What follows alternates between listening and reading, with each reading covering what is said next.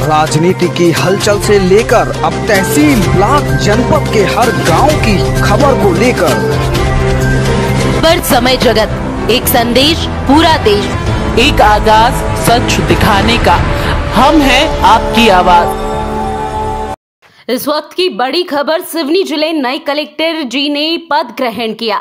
सिवनी ज़िले 27 दिसंबर 2018 मध्य प्रदेश शासन, सामान्य प्रशासन विभाग, मंत्रालय, भोपाल के आदेश अनुसार भारतीय प्रशासनिक सेवा 2012 बैच के अधिकारी प्रवीण सिंह अढ़ाइज द्वारा 27 दिसंबर 2018 को कलेक्टर और जिला दंड अधिकारी सिवनी के पद का प्रभार ग्रहण किया गया है। समय जगत के लिए सिवनी, मध्य प्रदेश से ब्यूरो चीफ नरेंद्र सोनी की रिपोर्ट। समय जगत। एक संदेश पूरा देश।